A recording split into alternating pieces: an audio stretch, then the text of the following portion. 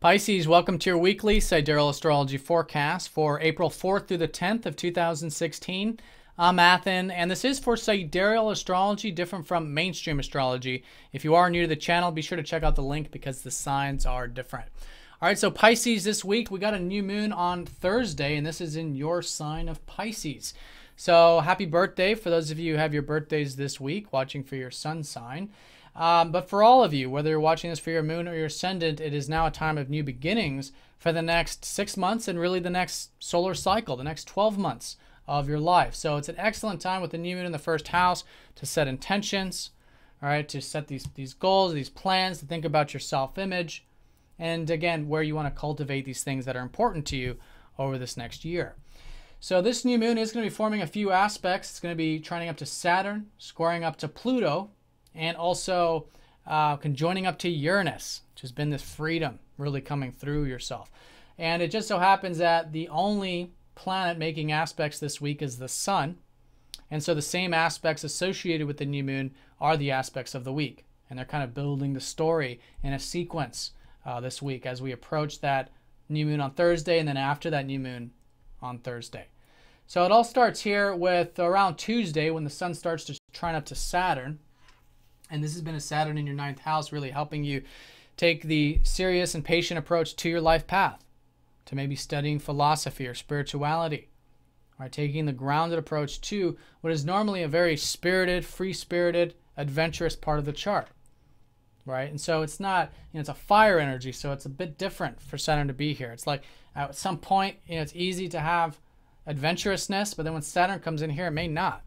And and it might be easy for you at other times to um, you know type, tap into that expansive view of life and to study and understand what life is about. And sometimes when saturn comes here it's a bit limited. But what's what, what it's doing is it's helping you really ground and discipline your worldview and your life in general and the life path. And a lot of that's reflecting right now with saturn retrograde. So it's good to be reflective about where you're headed. What's the life path? What is life about and perhaps anything else that you might be involved with in terms of travel, long distance matters, etc. And this is also a good area of motivation for you because you got Mars here. Okay, so you guys do have a bit of motivation and drive, I think, right now to either uh, expand your horizons, whether it's internally or externally. And again, a trine up to the new moon does suggest that there could be a maturity coming strong here, helping you with this now new you and these new goals that are shaping up for you this week. Now, in terms of the square from Pluto, this is about deep change. All right, and so this is going to be deep change with you, but this has been a Pluto in your 10th house. And Pluto shows where we have fear, where we have deep unconscious, you know, attachments because of the fear. And every opportunity with Pluto is an opportunity to let go of those things, those fears, and to accept them. And then through that acceptance comes, of course, the transformation and the non attachment. And we have to be willing to let them go. And so this might be relating to your career or your public image, your public life, allowing the ego not to get a hold of it, attached to it, because that's what's creating the blockages or can create the blockages. And the square from first house is again suggesting non-attachment to these goals right now or non-attachment to the self and whatever it is that you're working with as best as you can.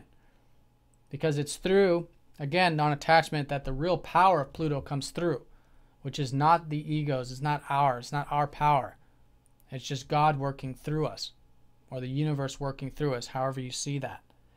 And so, um, stripping away any attachments to these two areas, basically your productive life and also yourself, is uh, very powerful with this, and then that can really help integrate these two areas. Now, in terms of this new moon with Uranus, there's a lot of new beginnings now in terms of being your true self. It's been very it's been huge for you for the past roughly six years for you to really access your individuality, to be your true self, express your true self. And now there's a new moon around this, so there's new beginnings planted with where you can have more freedom of individuality, freedom of self. Right? See things in a different way, be unorthodox, be different as we all are. And um, now this week isn't that energetic with it. It's just a good time to sit with this and examine and think about these things. Again, where you can have that mature, grounded approach to the life path, as well as the deep change with self and any attachments you might have to the productive stuff, and also the freedom, right? Freedom of self, where you can really be your true self and allow that true light to shine through.